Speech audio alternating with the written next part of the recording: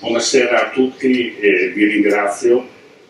Io uso il tavolino con degli appunti perché cercherò così una breve lettura di quello che è l'acqua nella nostra città, che per me non è assolutamente un problema, anzi è una risorsa, anzi è un valore aggiunto. Partiamo dall'acqua nella storia di Pordenone in principio, lo sappiamo, c'era l'acqua perché l'acqua ha permesso la nascita della nostra città.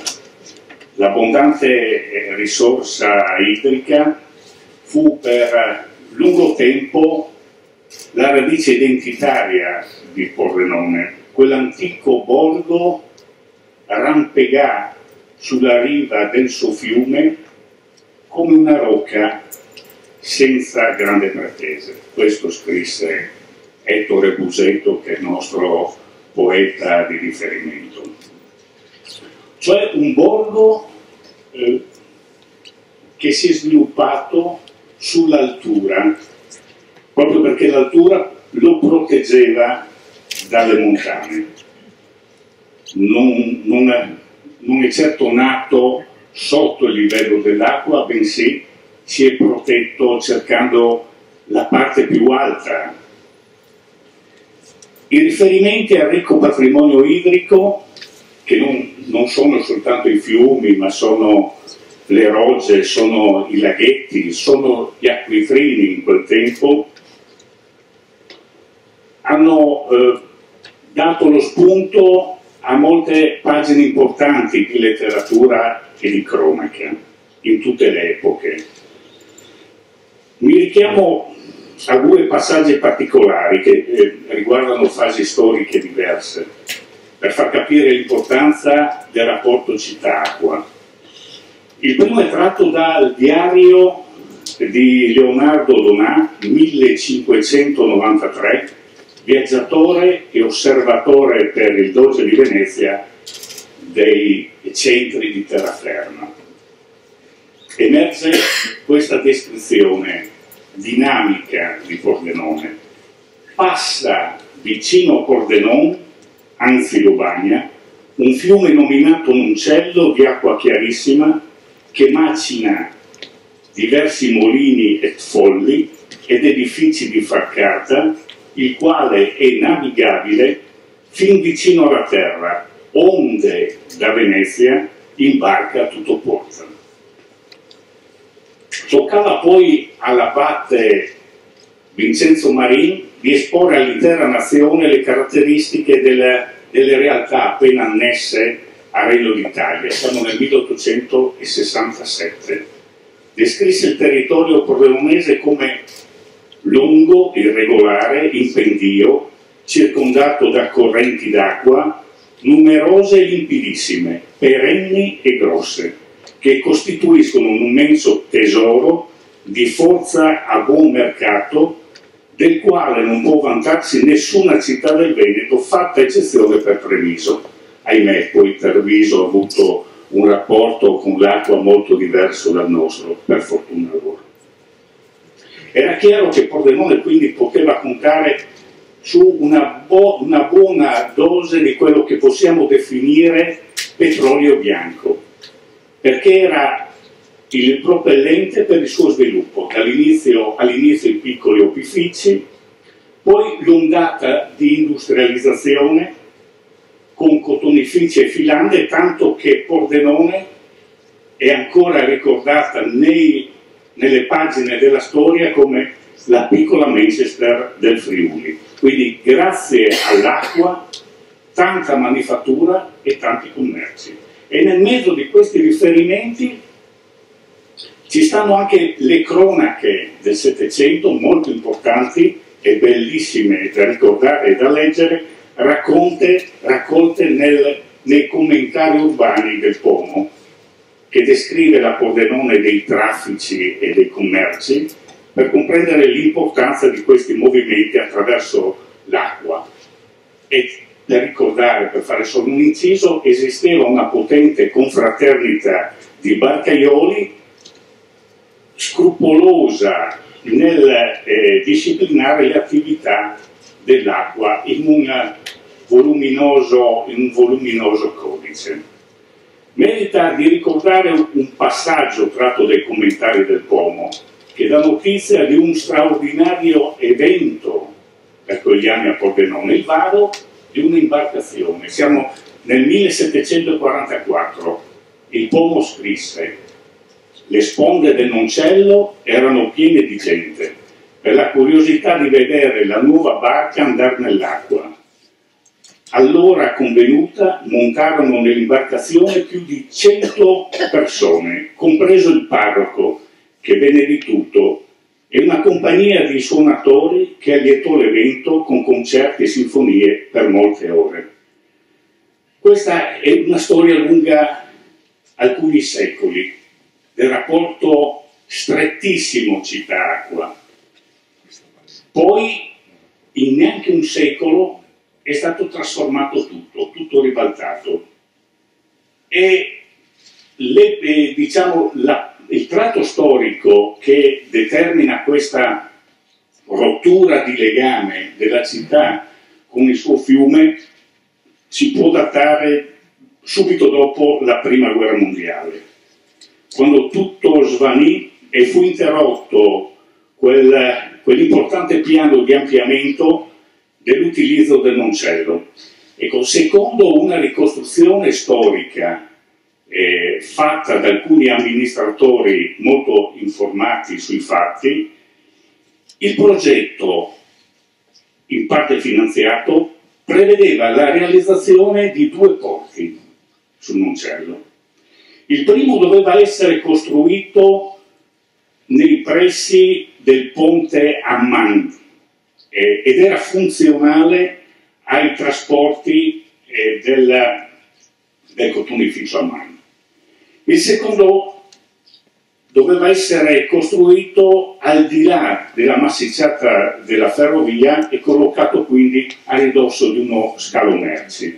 Ecco, si prevedevano opere grandiose per quei tempi, ma come spesso accade nelle opere pubbliche italiane, poi i soldi vengono a mancare e eh, tutto finisce, anche perché mancando i soldi poi eh, il tempo ha portato anche a una, a, a una, chiusura di tutto quello che era il commercio eh, via, via fiume.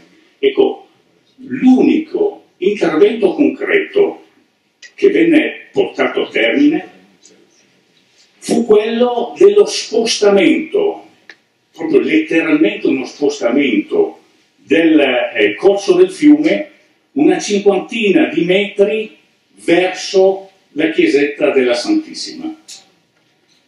Questo spostamento purtroppo fu utilizzato per la costruzione della Riverasca, che magari adesso rischiamo anche di maledire in quanto eh, sposta in quanto recide questo rapporto tra città e fiume.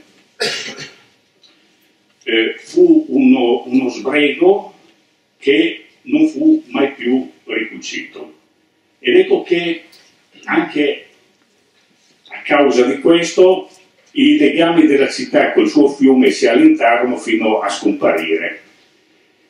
Eh, ma con lo strappo dall'uccello si maturò progressivamente anche quello della città col suo articolato patrimonio idrico, rogge intubate, laghetti dimezzati e abbandonati. Quindi la città d'acqua, nel boom economico degli anni 60, diventò progressivamente la città del cemento. Dell'acqua non c'era più bisogno perché non serviva più all'economia. Col boom economico l'economia riuscì a cambiare pelle, quella è stata la grande fortuna di Pordenone. Dal telaio al tornio, dal tessile alla meccanica, non solo Zanussi, Savio e Locatelli, ma una galassia estesa e ben ramificata nel territorio di aziende successivamente poi distribuite inefficaci distretti industriali che coinvolsero nella crescita il territorio che va dall'Ivenza al tagliamento. Possiamo definirla una fabbrica diffusa, una fabbrica diffusa nel territorio. E con essa prese consistenza la città fordista, che impose i suoi ritmi e le sue regole. Contavano i grandi numeri, le volumetrie, il riempimento di ogni spazio, cioè quella che viene definita in sintesi la quantità, che sono poi tutti gli elementi della fotografia della Pordenone d'oggi, anche se in crisi. La Pordenone d'oggi è ancora impostata sui ritmi e sulle regole di una città qualsiasi fortista. E quindi ci troviamo col cerino in mano della crisi di un modello di sviluppo. È inutile, secondo me, pensare di attendere che passi la bufera perché poi qualche rimedio si troverà. Non penso proprio che succederà questo, perché il mondo è cambiato nelle sue dinamiche economiche. Stare fermi si finisce poi per perdere definitivamente delle opportunità. Soffermiamoci sui casi vincenti in giro per il mondo, che ce ne sono tanti, dove le crisi strutturali hanno sbriciolato intere città che sembravano invincibili. Ebbene, ha vinto e sta in piedi chi ha avuto il coraggio, e ci sono casi sparsi un po' per tutta America, in Inghilterra, hanno vinto quelle realtà che hanno avuto il coraggio di reinventare la città, cioè esprimere un effetto laboratorio che è essenziale in questi tempi, reinventare la città sia sotto il profilo economico sia sotto quello urbanistico, ricerca e innovazione toccano le fabbriche, ma anche l'impianto e la vita di una città. A Pordenone non si può restare testardamente ancorati a quello che era il passato fordista. È necessario accentuare quella metamorfosi che, come sostengono efficacemente gli analisti della Fondazione Nord-Est, chiede di assorbire più mente d'opera che mano d'opera, perché l'era dell'accesso, nell'era dell'accesso conta il capitale intellettuale. Ecco che per reggere il sistema ha bisogno di qualità, dentro i cancelli della fabbrica, ma anche dentro la città.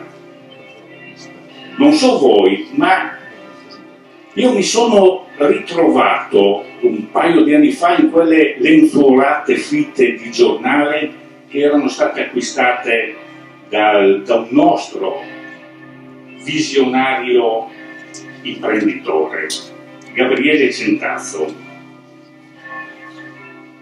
mister Valcucine per capirci.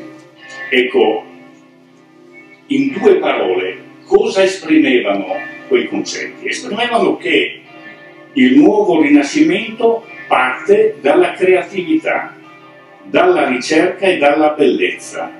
La bellezza è fondamentale per ricostruire una nuova, una nuova fase di crescita pordenonese. Ecco, spero che sia conclusa la stagione delle cubature a piene mani per espandere soltanto l'area urbana. La città non reggerebbe più un altro ecomostro, tra l'altro destinato a restare vuoto. Altrimenti, a chi invece ha ancora questo tipo di visione, consiglierei delle letture puntuali sull'effetto Detroit, che è molto simile al nostro, con le dovute proporzioni. Una città fantasma, con il suo numero infinito di edifici abbandonati, carcasse di cemento tra i rovi. Detroit ha avuto ha avuto la crisi in dieci anni è scomparsa come città, si è ridimensionata, è diventata fantasma.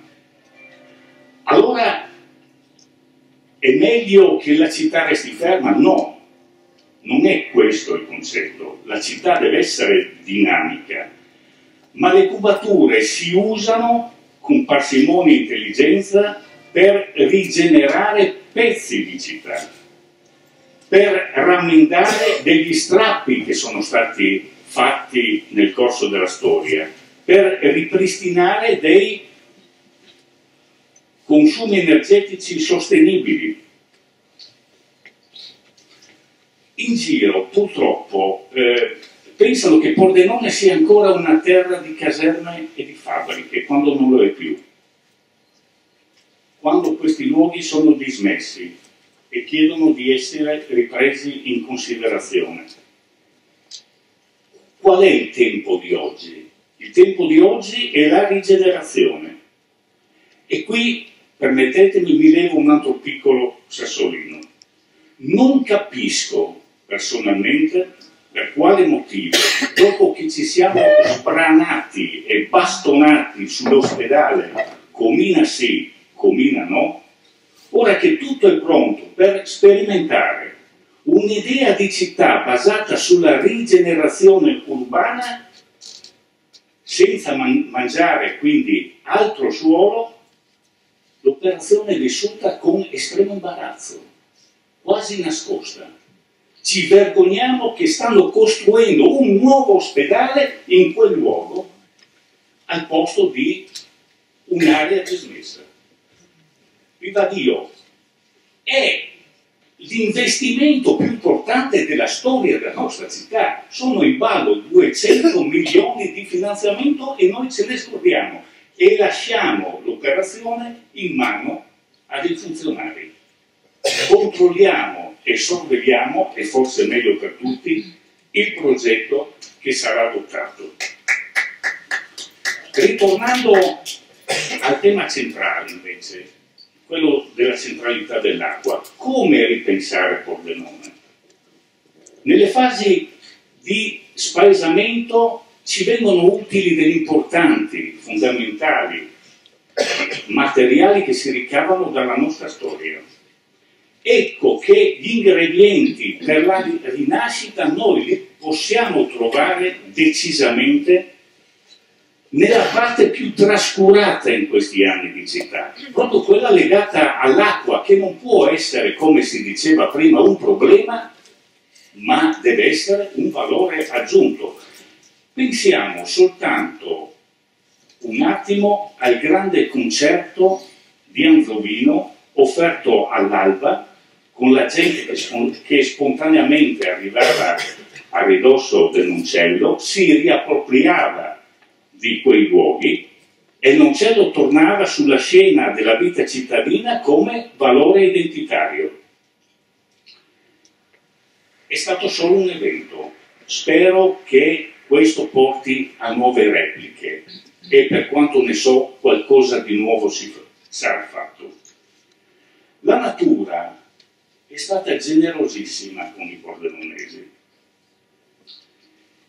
Nelle fredde statistiche sulla qualità della vita siamo decisamente nella parte più alta perché abbiamo ancora queste riserve auree del patrimonio d'acqua e di verde anche se è sempre frantumato. Ebbene, se c'è la consapevolezza di eh, quanto sia fondamentale investire sulla qualità, ecco che la costruzione della città del futuro dovrà necessariamente partire dalla riconnessione con l'acqua e con i parchi, perché la bellezza del paesaggio gioca un ruolo fondamentale nell'accoglienza e nella vivibilità. E anche magari per lo sfruttamento delle acque, per energie rinnovabili, basta pensare al caso significativo dei laghetti di San Giorgio, piccole fonti di energia pulita. Qual è la potenzialità di questo patrimonio d'acqua e di verde per Pordenone? Per capirlo basterebbe fare un giochetto molto semplice prendere la cartina di Pordenone, stenderla su un tavolo, colorare di verde il parco fluviale e le aree che delimitano i laghetti sparsi per la città e parchi eh, e magari qualche tratto di roggia scoperta. Il risultato è una larghissima macchia verde che è ancora omogenea. Dovrebbe essere chiaro che la qualità della vita è proprio lì dentro, è nel corpo di un'altra città verde che è nella città. Come procedere? Ognuno ci può mettere poi dentro qualcosa, non è difficile. Abbiamo a Pordenone dei bravi architetti, possono esercitarsi ad esporre idee e, e pensieri lunghi e forse arriverà anche qualche, qualche lavoro. Certo la città non può essere lasciata così. Quella macchia verde-azzurra deve essere e deve riesprimere paesaggio e vita per battere la, la tristezza e l'abbandono di oggi. E forse si capirà finalmente che quella macchia è un tutt'uno territoriale, basta vedere la cartina, è un tutt'uno territoriale, senza quei rigidi confini che sono ormai anacronistici tra Pordenone, Cordenons e Porcia è un parco comprensoriale liquido, per usare un termine alla Bauman, che deve essere pensato insieme attraverso un'unica regia. Se la società è liquida, che senso hanno amministrazioni rigide? Siamo figli della stessa città e, e sarebbe un ulteriore valore aggiunto che l'intera area comprensoriale potrebbe svolgere a livello regionale. Per avviarmi un po' alla conclusione un altro concetto. Pordenone, abbiamo visto nella storia, ha voltato le spalle al Moncello, eppure la storia si era caratterizzata in un altro modo. La città si affacciava al fiume con il fronte nobile, architetture monumentali e parco. Noi abbiamo messo la strada che separa il centro storico del fiume. Il fronte nobile però è costituito ancora dal complesso monumentale chiesa campanile di San Marco e dal castello, purtroppo ridotto a misero carcere, vecchio carcere. In prospettiva però io mi auguro che le cose cambino, c'è una procedura che dovrebbe portare il carcere a San Vito al tagliamento e quindi a ridefinire una nuova funzione e una ristrutturazione per il castello. Si potrebbe lavorare quindi sul castello senza, senza carcere con una sua nuova interconnessione, ci sono delle bellissime cartoline color seppia degli anni che furono, di questa interconnessione del castello con la roggia e con il fiume, ecco, ripristinando magari l'altura, senza quell'orribile muraglia di sicurezza, perché l'anima della città è dentro quella che noi abbiamo sempre chiamato la nostra contrada maggiore, con gli accessi al fiume, con la sua vera piazza, finalmente piazza non contenitore di auto. La piazza che è piazza della Motta, col nobile interrompimento che la chiude e che si può tranquillamente ricostruire, visto che gli elementi sono stati conservati nei sotterranei delle scuole elementari Gabelli. Quella piazza che fu sede de allegria, de buon umor, de canti e sbaccanate, come descriveva Ettore Busetto, che incarnava la vivacità di quei tempi pordemonesi. Una piazza ricca di umanità definita compendio di cronache e di storia, perché là dentro non mancava niente. Contrada maggiore era la città Acqua, il tutt'uno con il noncello. Apro solo un inciso per dire che non è pensabile che una città che ha una storia d'acqua non abbia neanche un segno di acqua e di verde in quelle che sono le sue piazze. O meglio, che non abbia addirittura una piazza, perché non si può chiamare piazza né quello spazio definito con la colonna spartitraffico in centro o con i gabbiotti ai lati, mi riferisco a quella che dovrebbe essere piazza Cavour, o un deserto di cemento, piazza 20 settembre, o un parcheggio, piazza della Motta. Ma come possiamo pensare di riportare l'allegria di riaccendere una città se non avete una piazza? Mi è un po' difficile comprendere queste cose. E poi ci lamentiamo perché le nuove piazze sono quelle virtuali dei, dei centri commerciali. Penso allora al cuore pulsante di Pordenone con tanto di piazza che si disperde verso, da una parte, il labirinto di vicoletti del Cristo e verso il fiume, almeno per un tratto senza barriere stradali, e un tratto di roggia che potrebbe riaffiorire bagnando i contorni dell'altura del castello. Non mi fermerei tanto alla semplice chiusura della Rivierasca. Ovviamente ci vuole un contesto funzionale di nuova mobilità, un piano di viabilità, mi rendo conto, ma se noi dobbiamo pensare a quel recupero, dobbiamo pensarlo come recupero di condizioni di, vive, di vivibilità lungo fiume,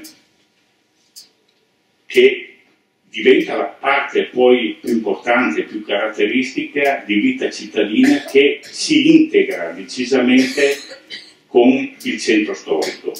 Si potrà ovviamente procedere, si dovrà procedere per sperimentazione, ma viva Dio, bisogna pure cominciare da qualcosa e soprattutto fare qualcosa non possono essere le auto in una città che non si definisce più fordista ma che cerca la vivibilità attraverso la qualità, non possono essere le auto a condizionare il destino di una città. Allora l'importante è avere una visione dinamica di città, così anche la grande crisi va affrontata e si supera con quali risultati? Dipende da come si affronta. Alla fine si potrà dire che disastro se non si è fatto niente, se siamo stati fermi, se siamo stati in attesa di qualcosa, oppure che lungo tormento ha rappresentato alla fine la pietra angolare su cui è stato costruito un, un futuro di città. Grazie.